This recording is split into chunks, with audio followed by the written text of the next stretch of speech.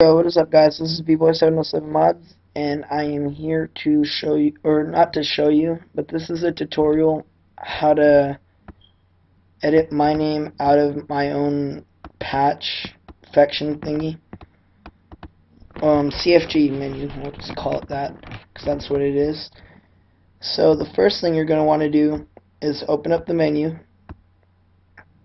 You're going to scroll down and you're gonna see right here.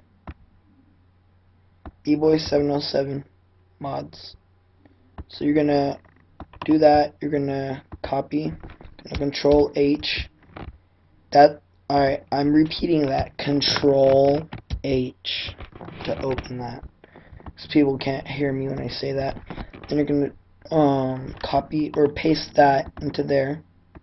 Then you're gonna replace it with well, I'm going to do a funny one, so... Or I'm to do my other account.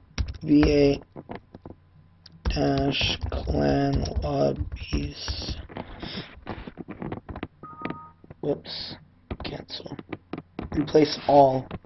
Can't just do replace because it'll, it'll only replace one. You gotta go to replace all and do it.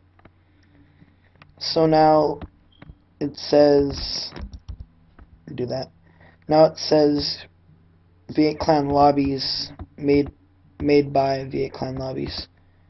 But I'm gonna have a whole bunch of codes in here and it'll really tell you that I'm the real owner of this. So you really just can't be a leecher and try to take it out. I got codes everywhere that you can't replace. So hope hope this tutorial actually helped. And yeah. Alright, later guys.